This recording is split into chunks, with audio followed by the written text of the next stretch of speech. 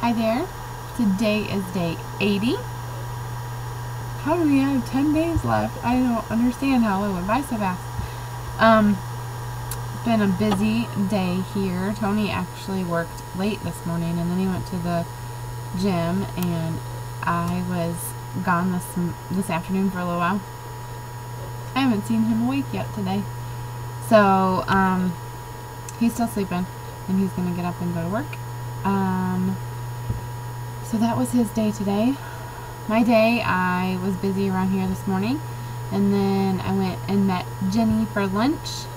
Jenny is um, Shayla at the studio as she is her 90 day challenge right now and Jenny's a couple weeks behind us so it was nice to meet for lunch and finally meet each other and chat and find all the weird things that we have in common. Kind of crazy.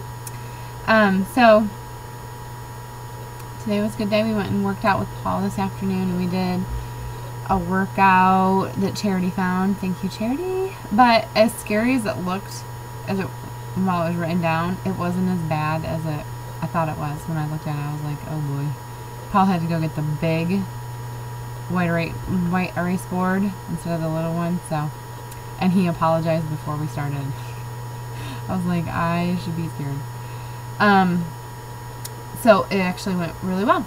And I had to finish up on the elliptical machine to burn all my calories. So tomorrow I have school, and I'm kind of proud of myself. I have our lunches packed already for tomorrow. I'm so happy about that. So I came home and cooked a little bit um, and packed up everything so tomorrow should go smoothly in the morning. So that is day 80. 10 days left. Alright, we'll talk to you tomorrow.